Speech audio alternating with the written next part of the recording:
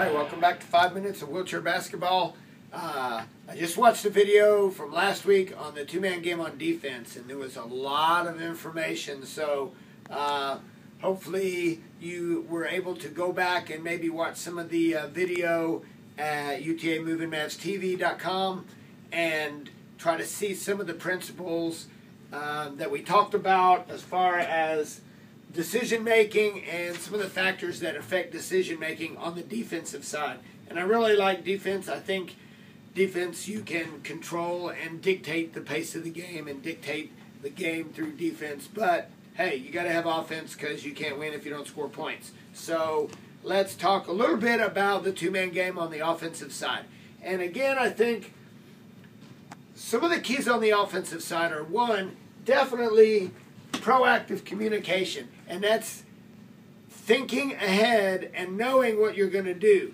And uh, sometimes we'll call that having a plan. Um, so basically, what you want to try to do, we talked about this last week, your offense is going to set up on your two man game right here. So, what we're looking for uh, offensively are a couple things. One, we might set up a big here and have this guy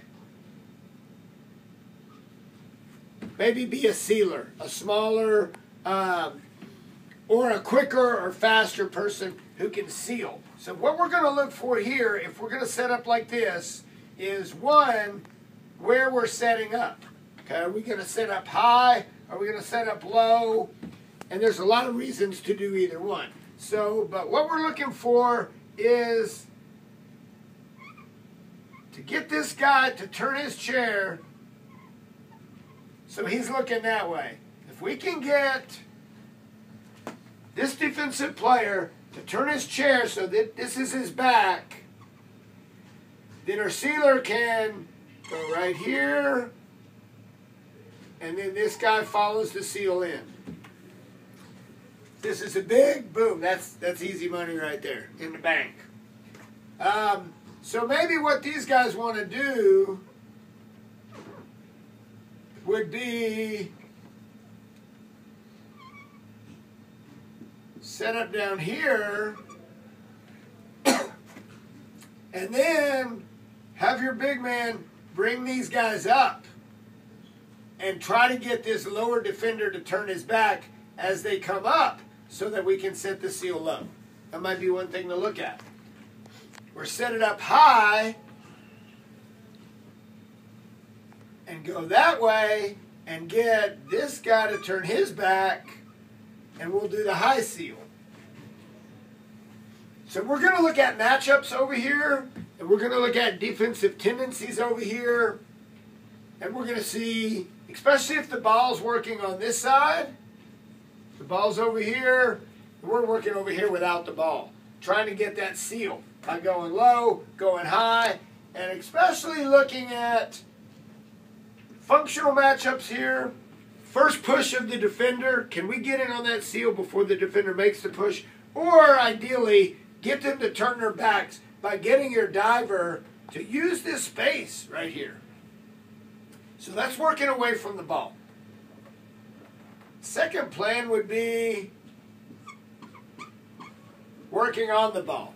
So now we got to look at, and what uh, what messes a lot of people up is they'll put a sealer back here, but maybe he's not a good shooter. So now we got to look at range.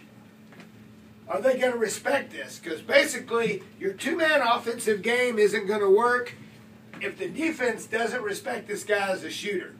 So let's add on to what we talked about last week. This guy's a right-handed shooter. He's got two things to think about. One, I know they're going to jump low, all right? Maybe he knows that because he's played them before. Maybe he doesn't know that. So he's going to get the ball and he's going to see how does the defense set up? Are they setting up? Are they setting up here and here? to jump low? Are they setting up here and here to jump high? Let's say they're setting up to jump high. Maybe one option would be, oh, I know they're jumping high, I'm going to get the ball and I'm going to attack low. That might be one option. We love it when we play teams where the guy behind the ball is not aggressive and doesn't, the guy behind the screen is not aggressive and doesn't look to attack and doesn't look to create behind the screen. There's a lot of good shooters that are happy sitting behind the screen and shooting, but as you go up in competition, you're not going to get that because you're going to have people who are going to take that away from you. So he sees, oh, they set up to jump high, or they've set up to jump this pass, or they've set up to come in here. So now what he wants to do is he wants to come down here and create space. He wants to bring that defender out here to create space. And then what's going to happen is this guy comes over, yeah. sets his pick right here. He's going to reverse and your picker now can roll in. And so you have the pick and roll. So we're looking to create space for that pick and roll there. And what happens a lot of times, I'll see this guy will go into the defense. So you don't want to go into the defense there. You want to create the space and you want to let him jump. Another thing that happens is when this guy jumps, this guy automatically fights to go in one on one. Take it easy. Take it easy. Look for the look for the pick on the guy who jumps the ball.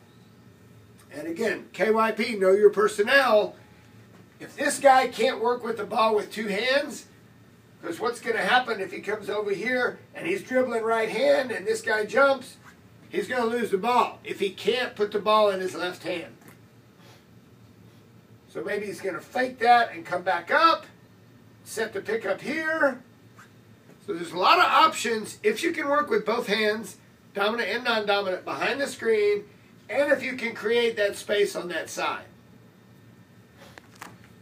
Once we get the space, then the picker rolls in for the easy basket. So what do defenses do at that time? Then we know this ahead of time, and we have a plan, and we know, all right, they're going to jump low, and they're going to send help from here. So what do you have to do as an offense? You got to have a threat right here. Somebody who can make this shot or somebody who's a big who can come in here and get the shot right here. So now we've got a plan. If not, they're not going to respect that and they're going to say, take that shot. We did the math. That's 30% shot. Okay?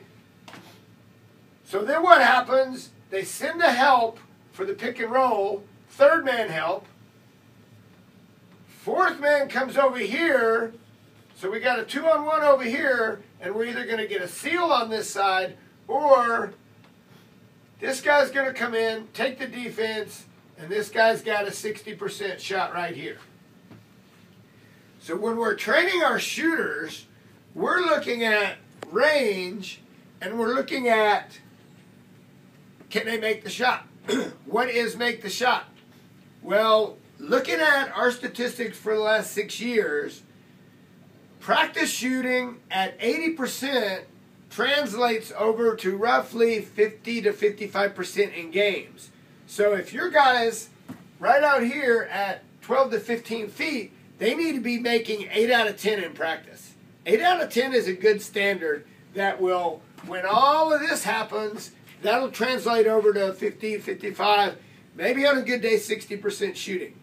But if this is a, a 30% practice shooter, if your shooters are 3 out of 10 in practice, then you're probably going to get 30% or less in games. That's what they call a closed set environment where you got the clock, you got the fans, you got the movement, you got everything, and it affects shooting percentages. So when we're looking at range and shooting percentage, and we're looking at the whole plan. We know going into the offense, they're going to jump low, they're going to send third man, the ball's going to swing here, then we're going to swing here. We already know, and we'll move our players around to kind of change these decision based uh, factors so that it's not the same thing every time on the defense. But really, if you can get you a couple good shooters, maybe a third right here, and it's worth spending extra practice time on your shooting to get those open uh, open drill shooting up around 70 to 80 percent. That'll transfer much better because what's going to happen is if you run this two-man game on offense and you read the defense and you make your decisions based on the reads and what you know is going to happen ahead of time, you're going to get a nice, hopefully 50% game shooting, and 50% will win a lot of games. So another thing, go back, movinmavstv.com, watch some of those games. Uh, we had UTA and University of Alabama, UTA and University of Illinois, uh, UTA and Dallas Mavericks. Um, some games. Um, I think we got some games with the Austin Records, who Records who have some really big players. They have some good height, and they try to use it. And watch how teams are setting up and using that two-man game, and knowing automatically, as soon as they go baseline, they know it's going to jump. They know where the ball is going to go, and the whole team is on the same page with their offensive play. And you start working your offense like this, work your defense like last week. We have some good chess match games, and it'll come down to who can make the shot. So look at these. Email me if you have any questions, and then uh, next week we'll move on to another part of the game.